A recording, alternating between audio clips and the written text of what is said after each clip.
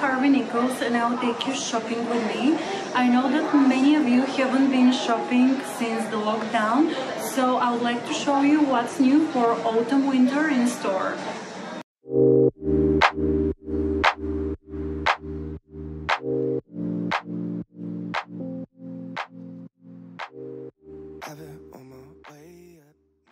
Polka dots are back this season. Not that they have really been away, but normally we wear them in spring, summer, while this autumn, winter, many designers have polka dots in their collection.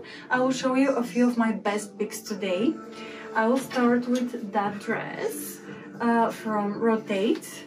It has a beautiful puff sleeve, open like back, but then it's quite fitted at the waist, which I think could complement different body shapes, especially if you're a pear or hourglass, that cut will look beautiful on you. The best thing about that dress is the midi length. So when you opt for a skirt which is slightly longer, that gives you more options to wear it for various occasions. You can style at daytime with flat boots, but also in the evening it can look extremely elegant.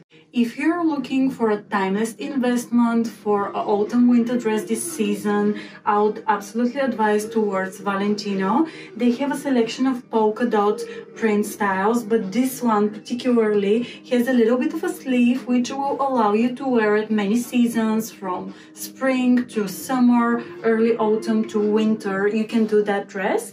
The fabric is really light and the cut is beautiful, which again, I think will suit many different body shapes. When we talk about dresses, you can't go wrong with a little black dress.